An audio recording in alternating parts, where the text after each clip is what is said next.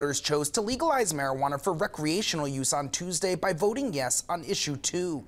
The new law will be in effect 30 days after the election. According to Washington County Sheriff Larry Minks, there's still a lot up in the air about how exactly the law will be applied and enforced. Minks says one thing's for certain, though they'll have to retrain their police dogs. Currently, the dogs are trained to detect a number of drugs, including marijuana. But if a dog helps make a bust of other drugs and marijuana present, it could pose some legal challenges with getting a conviction. Did the dog hit on the marijuana or on the fentanyl or on the heroin or what?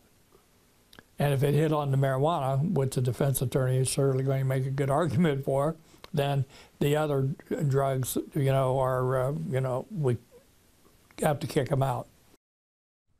Minks says he's not sure at this stage how costly or lengthy the process of retraining their dogs could be.